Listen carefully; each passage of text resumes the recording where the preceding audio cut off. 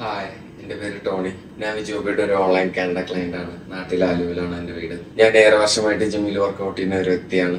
കാനഡയിൽ വന്ന ശേഷം ലൈഫ് സ്റ്റൈൽ ആകെ മാറി. ഇവിടുത്തെ ജങ്ക് ഫുഡ്സും ഇതൊക്കെ കഴിച്ചതിന് ശേഷം ബോഡിയിൽ അത്യാവശ്യം നല്ല രീതിയിലുള്ള ഒരു ബോഡി ഫാറ്റ് ഒന്ന് കയറി പറ്റി എന്റെ ജീവിതത്തിലെ ഏറ്റവും റെക്കോർഡ് വെയിറ്റ് ആയി എയ്റ്റി എയ്റ്റ് കിലോസിലോട്ട് പോയപ്പം ഇനി ഒരു തിരിച്ചൊരു ഫിറ്റ് ശരീരത്തിലോട്ട് പോകണമെന്നുണ്ടെങ്കിൽ ഞാനൊരു പ്രൊഫഷണൽ അഡ്വൈസിലൂടെ വേണം പോകാൻ എന്നുള്ള ഒരു പ്ലാൻ ഇട്ടു. കാരണം ഇനി ഞാൻ ഇനി ജിമ്മിൽ പോയി വർക്കൗട്ട് വർക്കൗട്ട് ചെയ്ത് മെനക്കെടണമെന്നുണ്ടെങ്കിൽ അതിന്റെ തക്തമായിട്ടൊരു റിസൾട്ട് എനിക്ക് ഉണ്ടാവണം. അപ്പം അല്ലേ ഇനി വെറുതെ ഇനി പോയി സമയം കളയണ്ട ഒരു പ്ലാനിലിട്ട് അങ്ങനെ ഞാൻ ഒരു നല്ലൊരു പേഴ്സണൽ ട്രെയിനറിനെ ഇട്ട് ഞാൻ ഓൺലൈൻ സെർച്ച് ചെയ്തപ്പോൾ വിജോപ്പിയാണ് ഞാൻ ചൂസ് ചെയ്തത്. അവരുടെ വീഡിയോസ് കണ്ടാൽ തന്നെ അറിയാം. എല്ലാം നല്ല ജെന്യൂനും നല്ല അത്യാവശ്യം നല്ല എക്സ്പീരിയൻസിലുണ്ട് ഈ ഫീൽഡ് പിന്നെ പുള്ളിയുടെ ക്ലയൻസിനും റിസൾട്ട്സ് ഒക്കെ എല്ലാം കണ്ടപ്പം എനിക്ക് കൺവിൻസ്ഡ് ആയി. അങ്ങനെ ഞാൻ വിജയബിനെ കോണ്ടാക്ട് ചെയ്തു. വിജയോബിയുടെ അടുത്ത് ഞാൻ സംസാരിച്ചപ്പോൾ എന്റെ ഗോൾ എന്താന്ന് പറഞ്ഞു കൊടുത്തു അപ്പം എല്ലാം വിജയോബി വിശദമായിട്ട് കേട്ടു. എനിക്കൊരു വർക്കൗട്ട് പ്ലാനും ഡയറ്റ് പ്ലാനും എനിക്ക് അയച്ചു തന്നു.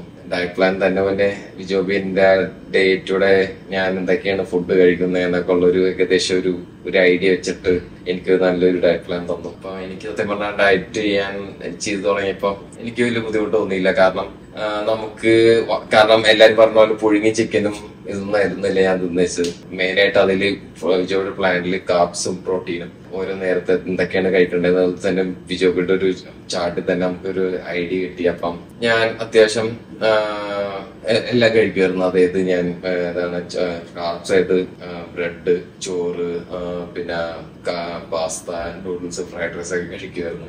പ്രോട്ടീൻ ആയിട്ട് ചിക്കൻ മീൻ ബീഫ് പിന്നെ എഗ്സ് ഒക്കെ എല്ലാം ഞാൻ കഴിക്കുമായിരുന്നു. സപ്ലിമെന്റ്സ് ആയിട്ട് ഞാൻ കഴിച്ചുകൊണ്ടിരുന്ന വേ പ്രോട്ടീനും ക്രിയേറ്റിനും ആയിരുന്നു. എനിക്ക് ഡയറ്റ് ചെയ്തപ്പം സത്യം പറഞ്ഞ സ്ട്രെസ് തോന്നിയില്ല. കാരണം എന്റെ ടേസ്റ്റ് ബഡ്സിനെ ബുദ്ധിമുട്ടിക്കേണ്ട ഒരു ആയിട്ടുള്ള ഒരു ഹാർഡ് കോർ ഡയറ്റിംഗ് ആയിട്ട് എനിക്ക് തോന്നിയില്ല. കാരണം നമുക്ക് ഇഷ്ടപ്പെട്ട ഫുഡുകൾ കഴിച്ചുകൊണ്ട് തന്നെയാണ് ഞാൻ ഒരു ഫിറ്റ് ശരീരത്തിലോട്ട് എത്തിച്ചത്. അപ്പൊ അതൊരു അതെനിക്ക് ശരിക്കും പറഞ്ഞ ഒരു വലിയൊരു ടേണിംഗ് പോയിന്റ് ആയിരുന്നു ജീവിതത്തിൽ.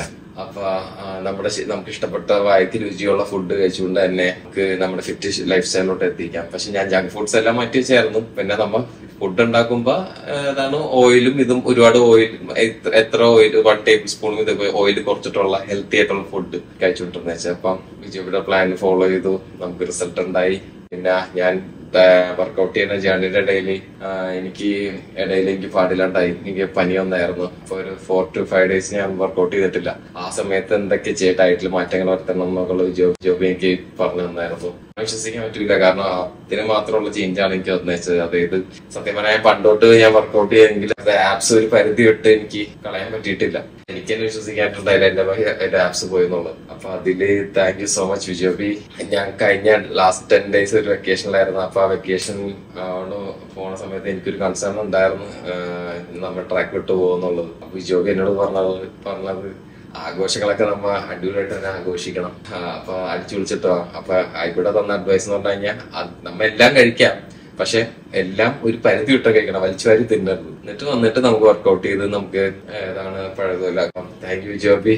അപ്പൊ ഈ ഗോളത്തിന് I am so much happy എല്ലാവരോടും stay fit stay healthy bye